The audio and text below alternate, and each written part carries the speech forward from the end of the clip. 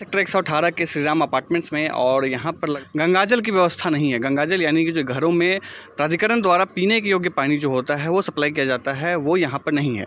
इस वजह से ये दो साल से मांग कर रहे हैं कि हमारी सोसाइटी में गंगाजल की व्यवस्था की जाए, लेकिन इनकी सुनवाई नहीं हो रही है। यहाँ पर श्री राम अपार्टमेंट अपार्टमेंट में अप्रॉक्स साढ़े चार सौ फैमिलीज़ रह रही हैं और हमें ढाई साल हो गया है, हम अभी भी ग्राउंड वाटर यूज़ कर रहे हैं।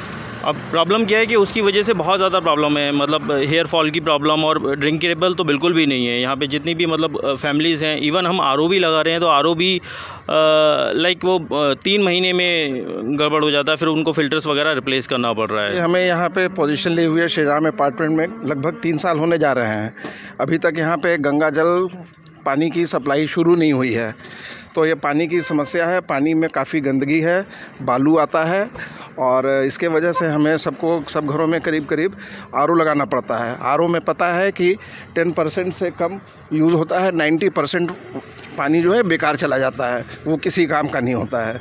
तो कम से कम पानी को आजकल जल ही जीवन है उसके लिए कम से कम पानी को संजो करके रखना चाहिए। जब से हम यहाँ पे शिफ्ट हुए हैं तब से ये ग्राउंड वाटर ही यहाँ पे सप्लाई में आ रहा है। वो पानी इतना खारा होता है कि आप उसे किसी भी चीज़ में यूज़ नहीं कर सकते। जैसे हम अपने बर्तन भी धोते हैं ना बर्तन में क्या यूटेनल्स वो जो जब उसमें पानी रह जाता है उसमें जंग लग जाता है। हम्म। बाल्टियाँ तक ख़राब हो रही हैं। नल की टोटी जो है हमें छः महीने साल भर के अंदर ही उसे चेंज करना पड़ता है क्योंकि पानी इतना ज़्यादा खारा है कि टोटी का वो जो जहाँ पे वो कसा जाता है वो सारा वो गला देता है उसको। तो बहुत सारी दिक्कतें उससे हेल्थ की भी समस्या आ रही है। जैसे लोगों के बाल झड़ने की समस्या है पेट में दर्द की बहुत ज़्यादा समस्या है लोगों को। तो हेल्थ की भी समस्या ये मतलब ये खारा पानी होने की वजह से है। अगर ये गंगा जल की सप्लाई यहाँ शुरू हो जाती तो कम से कम हेल्थ की समस्या से लोगों को निजात मिलता। कि मैं दो दो तीन तीन इंच रेत भर जाती है। नल की टोटियों से रेत ही रेत आती है। ना तो इस पानी को पीने के लिए यूज़ किया जा सकता है, ना इससे खाना बनाने के लिए यूज़ किया जा सकता है।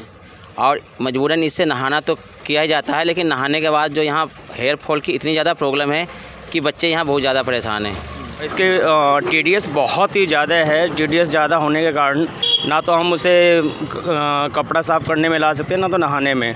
और उससे है कि हेल्थ से रिलेटेड भी बहुत सारी परेशानियाँ आ रही हैं।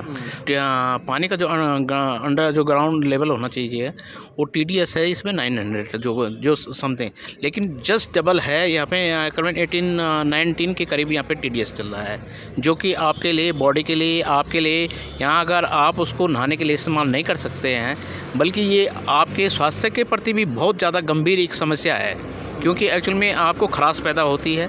खराश पैदा होने के साथ साथ में आपको सबसे बड़ा इसमें जो प्रॉब्लम होती है, आपको कई तरह के इसमें बैक्टीरिया भी हैं। ढाई सालों से यहाँ पे लोग रह रहे हैं और प्राधिकरण से मांग कर रहे हैं। कई बार इन्होंने चिट्ठी भी लिखी है, लेकिन इनकी मांग जो अभी तक मांगी, मानी नहीं गई है। अब देखना ये है कि कब तक इनकी मांगों को माना जाता है और यहाँ पर गंगा जल की सप्लाई की जाती है। इनका कहना है कि श्रीराम अपार्टमेंट्स की बात नहीं है। यहाँ जो अगल बगल में सटे हुए जितने सोसाइटीज़ हैं, सब में यही समस्या है। आप देख रहे थे न्यूज़ एटीन नोएडा के लिए आदित्य कुमार की रिपोर्ट।